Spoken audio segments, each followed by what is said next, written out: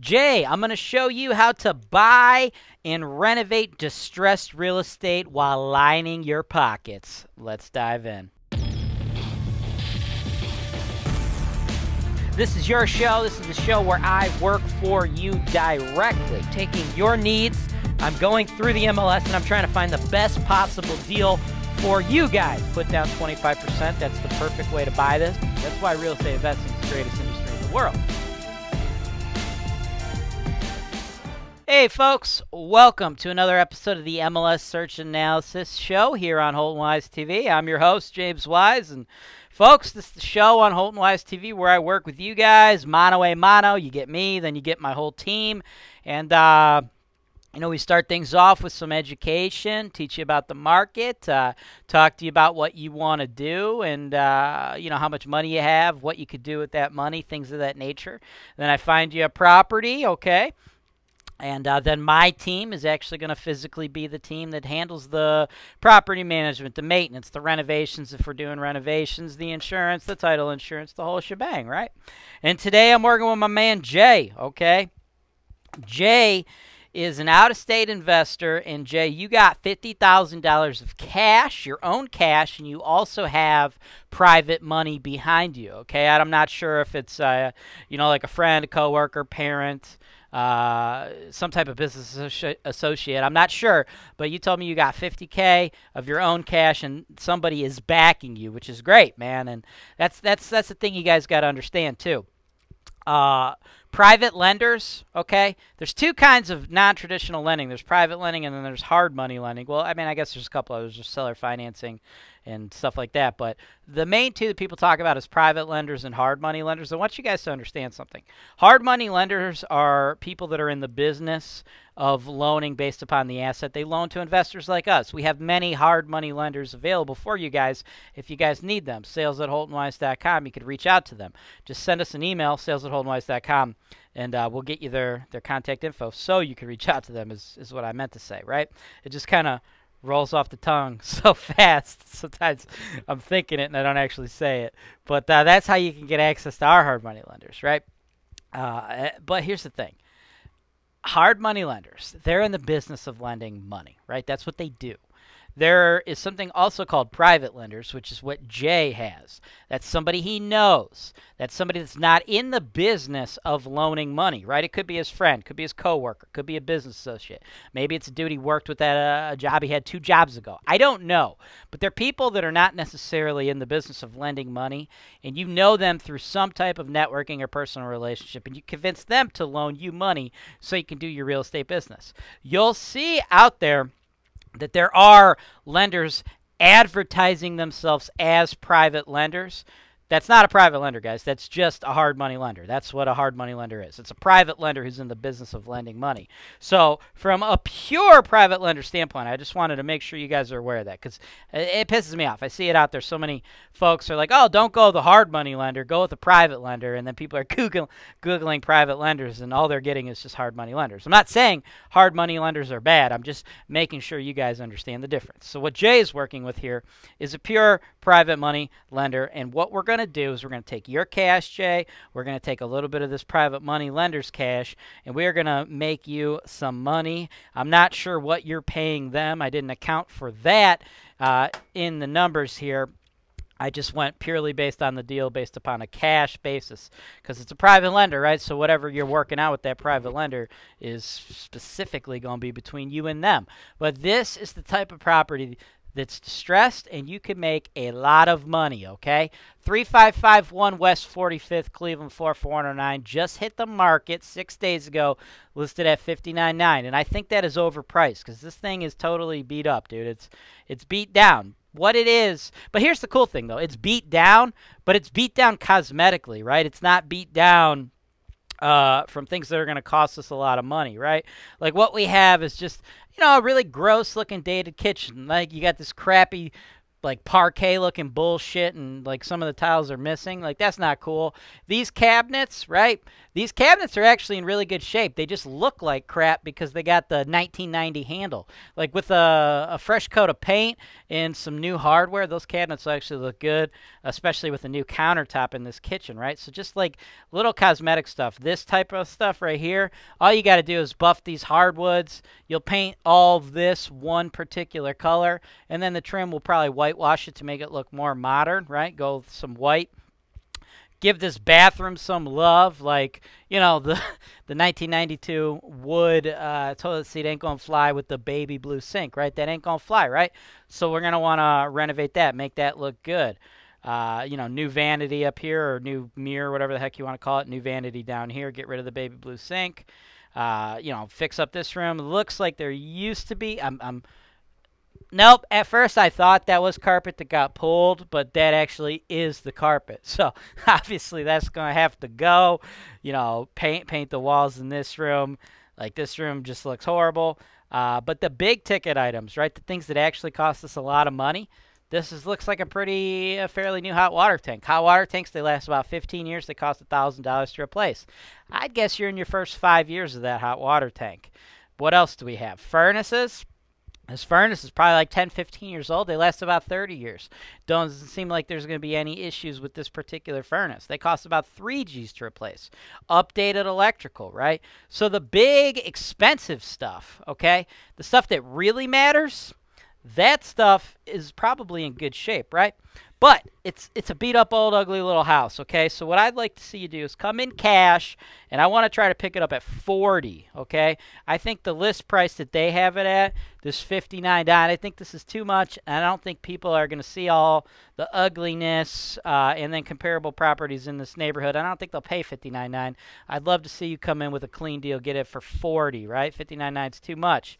Now, if you could pick it up for 40, all we got to do is cosmetic renos, right? That's all I'm thinking. So I'm thinking we could put this thing together for about 20K, right? We're going to do the repainting, make the floors all look good, make it all one modern, normal, neutral decor.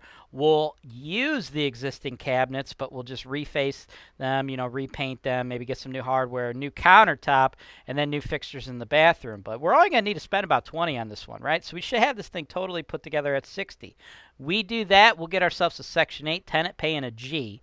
If we get a new tenant in there paying a G on Section 8, I anticipate you spending approximately 451 to operate that property. That includes fixed and variable expenses, brother. That's your taxes, your insurance, and then it's also your water, sewer, and things that we're saving, right? We're saving for things down the road like CapEx, right?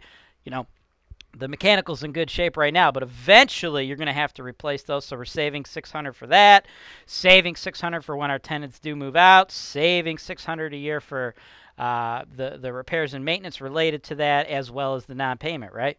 So it's gonna average, in my opinion, 6,500 or so a year in profit, but that also is in addition to another 1,800 that's actually going back to you, but you're saving it for future costs, right?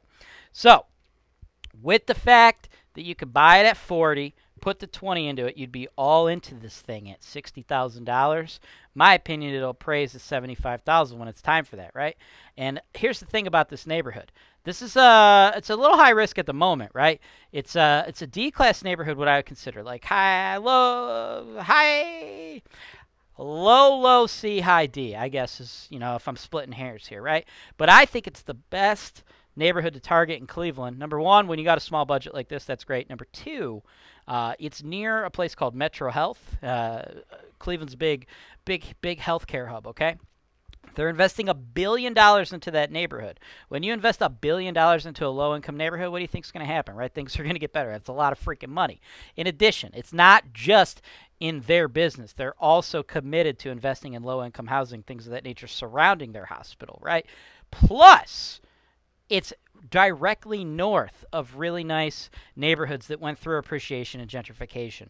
Ohio City, Tremont, Gordon Square, Edgewater, right? Go ahead and Google those neighborhoods. When you hear about the resurgence of Cleveland, those are the neighborhoods people are talking about. So I, I see this neighborhood going on the upswing, right? And that's why when I say we put a tenant in there, I say we do a Section 8 tenant, right? Because right now, you could be dealing with some some risky type tenants. So to make sure our numbers remain as consistent as humanly possible, we want to alleviate the risks of non-payment and people losing their jobs and, and just fucking up our house, right? We want to re reduce those risks as much as we can and get ourselves a tenant that's got their rent guaranteed by Uncle Sam, dude. We got to play the game the right way, right?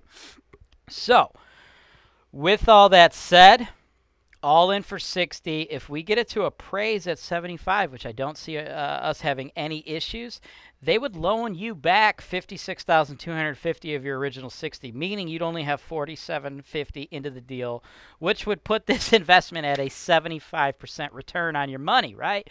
Of course, that doesn't count whatever you're paying your private money guy uh, for the use of his 10K, but like I said, you could target distressed real estate and make a bunch of money, and this is exactly how you would do that. My team, if you're interested in this deal, let me know. We'll write the offer to that seller. We'll negotiate. We'll set it up to where you get a third party home inspector in there. And after the inspection, we could possibly come back to them, right? Like I know the the cosmetic condition of the house. I know the condition of the hot water tank, the electrical, the furnace. What I didn't tell you about is the roof. I haven't been given any information about the roof. Doesn't appear the seller knows what's going on with their roof. That's what our home inspector is for. If it turns out that we need a new roof that's going to be like probably a $5,000 roof. Now, does the deal still make sense if you have to spend an additional $5,000? Yeah, dude. You might not make a 75% return on your money, but you could do the numbers. I don't know what it's going to be, but it's going to be a lot. Number one. Number two, I could take that new information back to the seller and I could try to beat them up a little bit and get that price worked down even more, right? These are the types of things we could do for you. And then, of course, after it closes, my guys We'll go in there. We'll handle this rental for you. We'll put in those tenants. We'll run you through the Section 8 stuff. We will do everything on your behalf. And then, you know, We'll move you on to the next one and the next one and the next one because that's the name of the game, man. We got to stack deals like this on top of each other. This one deal makes a lot of money for what it is, but it's not going to make you a millionaire, so we need to do this deal and then the next and the next and the next and the next, which is why you bought, uh, I believe you bought the 10 pack from me, the 10 pack of property analysis, which is smart because Number one, we need to stack deals on top of each other. Number two, not every deal goes through. I want to see you pick it up at 40, but this particular seller right now is trying to get 59. I think we'll be able to negotiate them down because I don't think they're going to get this price, but I can't guarantee you this seller is totally rational and is willing to take 40, right? If you wanted to pay 59, I'm sure they would take it, but I can't guarantee that, right? So that's why you buy the multi multi-packs with these analysis videos because not every seller is going to be reasonable and if you pay 59 you're overpaying and it's not a good deal so i wouldn't want to see you that do that right so if that was the situation i'd want to just move on to the next deal and then lastly why it's smart to buy the multi-packs is i discount them right the the more you get uh, the cheaper the price is because we want to work with you guys uh, in the long term. And we also know that this business takes a lot of time. You got to look at a lot of properties. You got to put in a lot of offers. You got to do a lot of due diligence, right? You don't get to decide to be a real estate investor on Monday and then on Wednesday you got a 50 unit portfolio. It's not how it works. It's taken me over 10 years uh, to build my personal portfolio, and I'm still cooking every day, right? So that's what I got for you, brother. Let me know what you want to do everybody else, click the show notes below if you want to work with my team, or you could just shoot us an email, sales at holtonwise.com. Give us your phone number. We'll call you. We'll talk to you about our products and services, answer any questions you may have. New viewers, if you just Googled, I don't know, whatever the fuck you're Googling to get to my show, right? Like how to make money in real estate, how to buy cheap real estate. I don't know what you guys are Googling. But if you're Googling that stuff, you don't want to work with anybody, you just want to learn, do yourself a solid and smash! That subscribe button because Holton Wise TV is real estate investing made easy.